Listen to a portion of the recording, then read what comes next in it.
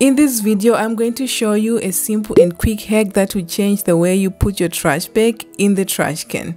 This trick will keep the trash bag from falling in, especially when you put something heavy in the trash can. You know what I'm saying, that can be very annoying, right? So let's fix that. First, tie the string a little bit from one side only like this.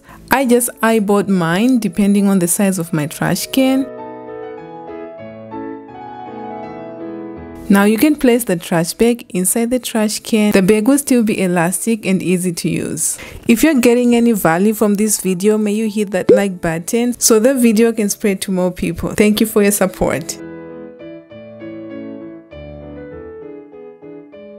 Look how neat it came out here. The trash bag is so secure and is not falling even with the heavy stuff thrown in there. Easy peasy lemon squeezy. My job is done here. You can try this trick at home. See you on the next one. Bye.